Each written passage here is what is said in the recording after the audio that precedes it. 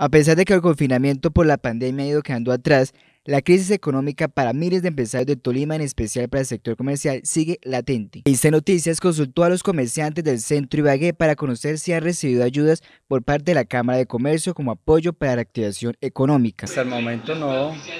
Ya hace más o menos por ahí, antes de la pandemia, eh, abrí este negocio y hace como un año pues, saqué lo de Cámara y Comercio, ya vamos para un año, pero no, hasta el momento no, no he recibido ninguna ayuda.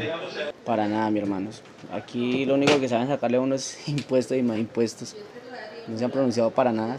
Una respuesta que se repite por parte de los empresarios y la que además le agregan que desde esta entidad solo los tienen en cuenta para el pago de impuestos camuflados de la inscripción en el registro mercantil o su renovación. De parte de Estudio 15 Viejoteca no se contó con ninguna ayuda y tocó volver, hace 15 días se volvió a abrir, volver a pagar lo que se ha pagado el año anterior que no se trabajó, tocó volver a sacar nuevamente y pagar. Esta entidad solo acapara recursos porque sus descuentos son irrisorios, aseguró otros comerciantes de Ibagué.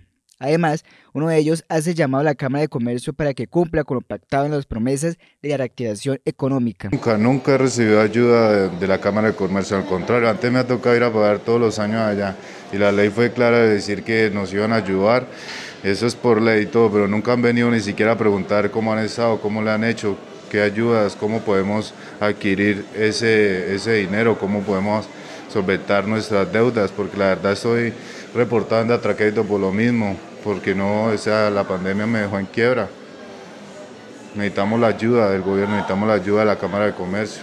Necesitamos plata para ponernos a producir, para comprar celulares nuevos, para vender a la gente algo nuevo, algo bueno. ¿sí? Necesitamos la ayuda del comercio, de la Cámara de Comercio, de aquí de Bagué. No, desafortunadamente la Cámara de Comercio a nivel local y a nivel nacional se ha convertido en un elefante blanco estas entidades eh, han prestado unos descuentos irrisorios en el precio de la matrícula, supuestamente dando un descuento del 20%. Un ejemplo, si la matrícula o la renovación de la Cámara de Comercio es de 100 mil pesos, el comerciante o el pequeño comerciante recibió una irrisoria cifra de 20 mil pesos, hecho que no ayuda a subsidiar para nada los gastos fijos y los gastos mensuales de nosotros los comerciantes. La verdad, estas entidades son eh, entidades netamente políticas de cuello blanco que lo único que hacen es acaparar recursos de nosotros los comerciantes y de los ciudadanos del común. A pesar de los constantes anuncios de la dirección ejecutiva de la entidad en la práctica, sus afiliados no encuentran ni el más mínimo aplazamiento.